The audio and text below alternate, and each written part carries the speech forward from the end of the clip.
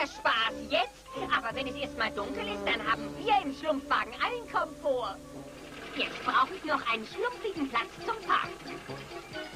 Le Miserable. Dieser Platz ist zwar gut, aber absolut unschlumpfig. Er liegt genau neben einem Sumpf. Ja, unser Schlumpfwagen ist voller Mücken. Überall Mücken. Aua, ich hasse Mücken.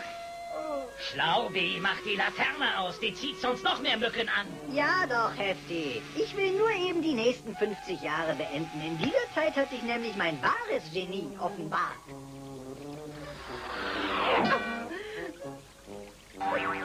Glaub ja nicht, dass ich dir mal ein signiertes Exemplar schenke. Hefti Schlumpf. Nimm ein Schlumpfmello. Die schmecken am besten unterm Sternenzelt. Danke, Großvater Schlumpf. Wo ist dein Schlafsack, Opa Schlumpf? Ach, es gibt keine weichere Matratze als die blanke Erde und keine wärmere Decke als den sternenübersäten Himmel. Besonders von hier oben. Guten Morgen, Papa Schlumpf. Guten Morgen, Ned. Was für ein schöner Morgen das ist. Besonders von hier oben. Opa. Es war doch ein bisschen zu kalt heute Nacht. Danke für das Federbett. Das Frühstück lasse ich lieber aus. Thermotraumiquell, wir drei kommen jetzt. Ja.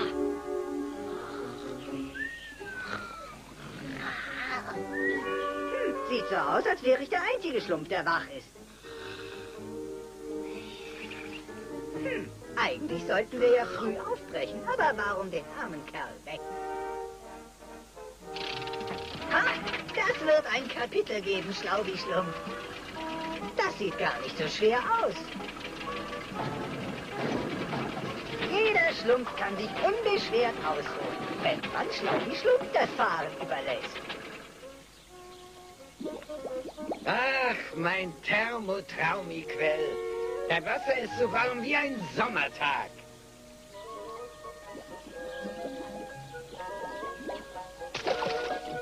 Wow, das ist richtig erfrischend. Großvater, mit allen Schlümpfen würde es noch viel mehr Spaß machen.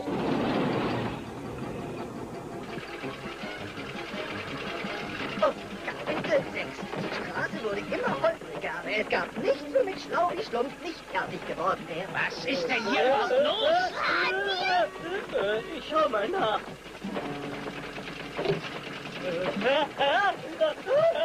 Oh, Meier, danke, Hefti. Der erste Schritt ist immer noch der schwerste, was? Sacre Aqua, der Schlumpfwagen wird vom Schlaubi gefahren. Warum fährt er nicht Handy den Bahn? Mach auf, Elsie, ich mag jetzt nicht mehr fahren. Und ich mag auch nicht mehr leben. Oh, Schlaubi, warum hast du mich nicht früher geweckt? Kapitel 10. Das Ende von Schlaubi-Schlumpf. Wo bleiben nur Handy und die anderen? Ist doch egal. Genießt die Vögel, den blauen Himmel, den Schlumpfwagen. Der Schlumpfwagen. Ich komme, meine kleinen fliegenden Schlümpfe. Schwimmt um euer Leben.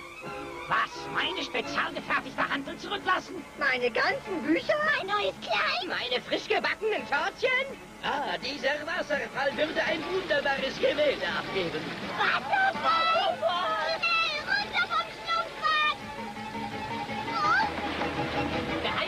Der Liane. Wir dürfen keine Zeit verlieren. Papa Schlumpf, die Strömung ist zu stark.